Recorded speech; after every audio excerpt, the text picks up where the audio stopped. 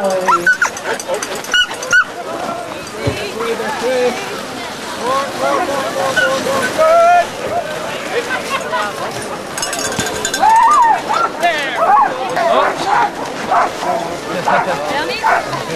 your poster signed by Michelle. Stand on my right. Yukon Musher!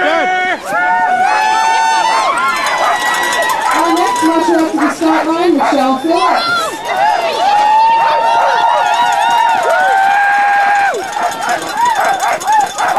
Canadian currently living in our very own Tagish here in the Yukon.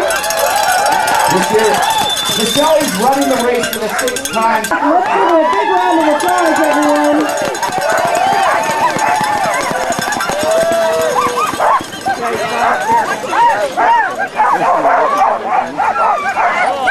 Thirty seconds.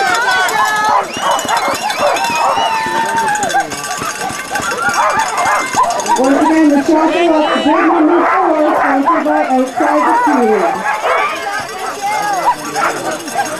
Three.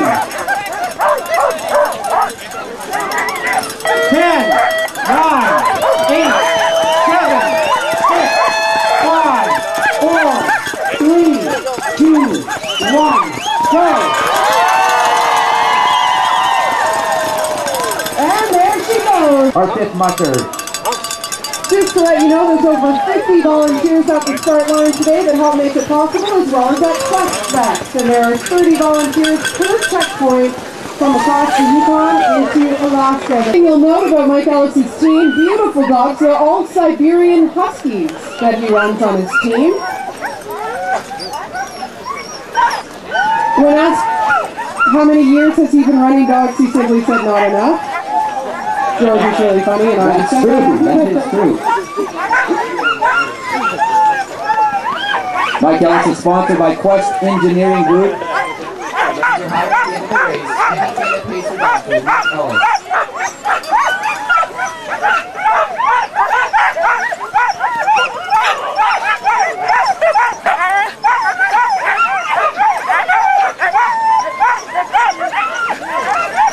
Thirty seconds. 30 seconds, let's make some noise for Mike Ellis.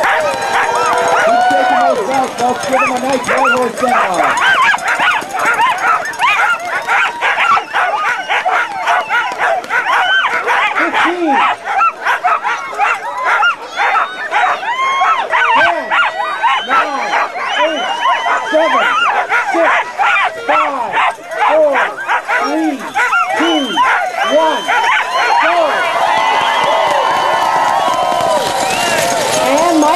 Is off on the Yukon Quest Trail. Bib number five, he's our fifth musher to leave the start chute this morning, and his sponsor is Quest Engineering.